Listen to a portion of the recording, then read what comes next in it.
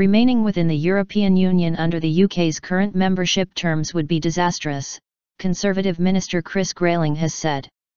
The EU was heading towards closer integration, a path the UK will not and should not follow, the leader of the Commons wrote in the Telegraph. It is being seen as the first sign of a minister preparing to campaign to leave the EU in the UK's referendum. A government source said Downing Street was very relaxed about the article. David Cameron is to allow ministers to campaign for either side of the debate. However, cabinet ministers will only be able to start campaigning once a new deal has been reached by the Prime Minister with other EU leaders on the UK's terms of membership.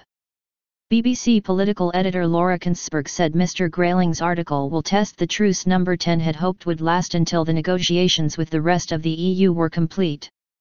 It's clear several other cabinet ministers, perhaps as many as seven, share Mr Grayling's view. Whether they are ready to follow him and go, almost, public is another matter, she added. Mr Grayling, the leader of the House of Commons and former Justice Secretary, stopped short of saying Britain should leave the EU in his Telegraph article, but it suggested he was ready to campaign for an exit if he is not satisfied with Mr Cameron's renegotiation deal. Mr Grayling's Labour shadow Chris Bryant said Mr Grayling was now leader of the Out campaign but did not have the courage to call for Britain's exit because he is desperate to keep his place in the cabinet. He told MPs Mr Grayling's Telegraph article was the most mealy-mouthed, myth-peddling, facing both ways piece of pedestrian journalism that has ever come from his pen.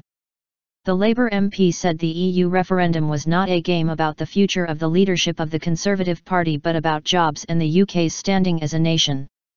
He says it is disastrous for us to stay in. I think it will be disastrous for us to leave, he told MPs. Pete Wishart, the SNP's Commons leader, also mocked Mr Grayling as the leader of the Eurosceptics and putative leader of the Britain Out campaign. Mr Cameron's four key negotiating objectives cover economic governance, competitiveness, immigration, and sovereignty. A referendum must be held before the end of 2017 but Mr Cameron is expected to hold it this year, if he can secure a deal on his reform demands. Jonathan Faull, who is leading the European Commission's negotiations with the UK, said there was a good prospect Mr Cameron would get a deal at the next European Council meeting in February. He told European Parliament members negotiations had been difficult and the Commission would not accept anything that threatened the four freedoms, including freedom of movement, the EU was founded on. On a visit to the Turkish capital Ankara, Foreign Secretary Philip Hammond said the UK and EU leaders were getting closer to reaching a deal on the sticking point of curbs to European migrants' benefits, but added we are not there yet. He said the UK was trying to come up with a satisfactory proposal on welfare, adding that there was broad agreement on the other three areas identified by the PM for reform. In his article, Mr Grayling said the UK was at a crucial crossroads and cannot be left in a position where we have no ability to defend our national interest within the EU. I am someone who believes that simply staying in the EU with our current terms of membership unchanged would be disastrous for Britain, he added. That's why I have always believed that it is imperative that, Mr Cameron's, renegotiation takes place and delivers as much potential change as possible.